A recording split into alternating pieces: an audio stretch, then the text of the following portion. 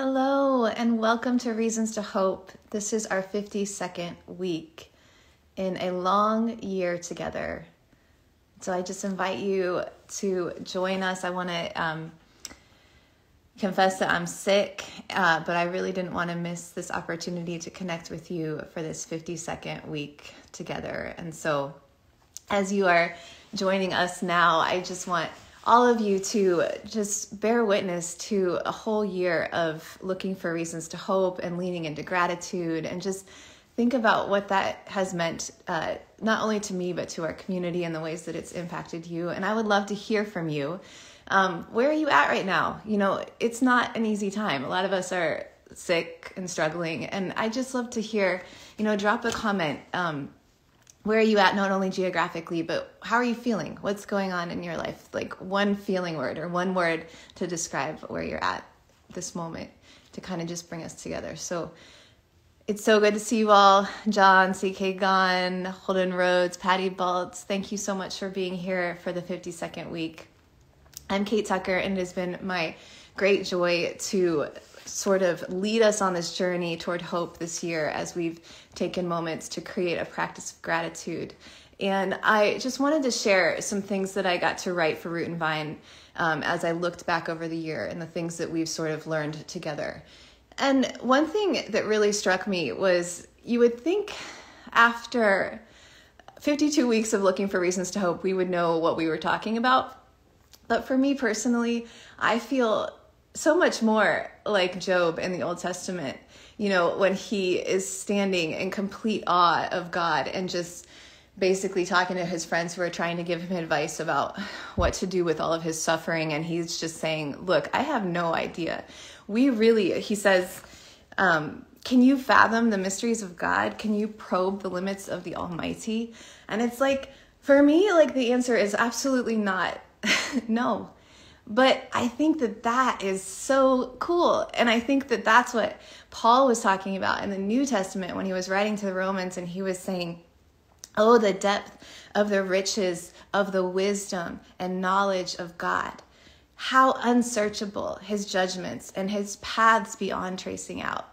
I mean, it's like after a whole year of coming together and sharing, you know, where we're at I have no words. I really I have nothing but awe and gratitude and um and and a lot of questions. You know, I have a lot of questions and I think that um that's something that faith allows and I think that we've learned, you know, in um hearing from a lot of the community throughout the weeks on this Instagram live. There's a lot of doubt and fear that goes along with daring to believe, daring to have hope in the face of darkness, you know? And so I want to acknowledge that as well. There's a really beautiful, um, one of my favorite poets is Rainer Maria Rilke, who was writing 100 years ago. And he writes about living the questions. And then when I got to interview Betty Reid Soskin this past year, who's one of our great national treasures and a 100 year old um, park ranger, you can find that article at Garden and Health, our sister uh, publication. But Betty also talked about, you know, living the questions. And when I asked her, you know, what has your 99 years taught you? And she, she said that I don't know that I that after all these years I really don't know. And I want to read to you what Rilke says because I think it's encouraging in times when um, we're living with great uncertainty. And he says, "Be patient toward all that is unsolved in your heart." And try to love the questions themselves like locked rooms and like books that are written in a very foreign tongue. Do not now seek the answers which cannot be given you because you would not be able to live them. And the point is to live everything, live the questions now. Perhaps then you will gradually, without noticing it, live along some distant day into the answer. So, I know right now there are a lot of us living some very serious questions. You know, it's like um, I'm pretty positive a lot of us are asking Do I have COVID? Will I get COVID? Does my family member have COVID? Will I, you know, make it through this sickness? Am I going to end up in the hospital? Will my loved one recover who is in the hospital? Um, these are huge, huge questions. And I want to make sure that we acknowledge the the depth of uncertainty and the depth of fear that we are all dealing with no matter how we've been impacted by the events of the past two years um, we are all carrying a lot of uncertainty with us more than we've known before in our in our time. And so um, i think that underneath all of that there's this there's this deeper bedrock of hope um, that we've been discovering together over the past year.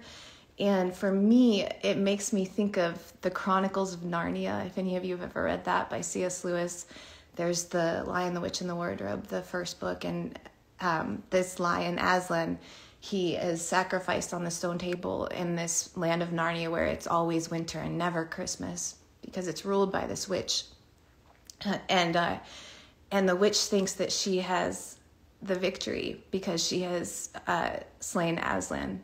But then later, when he, when the children come and and um, you know, and they're crying and they're and they're taking off his the ropes and they're and they can't believe that their their lion, their king, has been slain. He comes to life. Spoiler alert! Sorry if you haven't read this book, and if you haven't, you should totally read it. You should read it to your kids. You should read it again. It's a great book to read as an adult too. It's so full of magic. But Aslan talks about this deeper magic from before the dawn of time because the witch knew of this deep magic and Aslan said there was a deeper magic. And you know, I think you you know if you're looking at that through the lens of the christian faith which is what cs lewis wrote that book you know as a believer as a christian you, we see those very clear parallels to the christ uh, child coming to earth and you know dying on the cross and then you know, being resurrected as our hope for eternal life. And so at this time of year when it's the darkest, you know, the, the nights are long, the days are short, and we are all feeling afraid. We also just celebrated Christmas, even if we celebrated in isolation like I did. Uh, we celebrated the birth of the Christ child. And so that means that there is hope, that hope has arrived, and that we can lean into something you know, my mom used to always say, underneath, it's in the Bible, but she always would say, you know, underneath are the everlasting arms. And I think that's what, if, if you're spending a lot of time alone right now because you're isolating or quarantining or whatever, it can feel, um, it can feel, it can feel so lonely. And so I just want to encourage you to remember that underneath are the everlasting arms. And I found this this uh, prayer that my mom left. She died five years ago, and when she died, I found um, this notebook paper that she had handwritten this prayer in her beautiful handwriting, and it's mostly faded now, but I've read it so many times. Uh, and it says, it's basically a combination, I think, of a bunch of her favorite scripture, but um, I'm going to read it for you here. The eternal God is your refuge, and underneath are the everlasting arms. May your Father in heaven hold you with strong arms.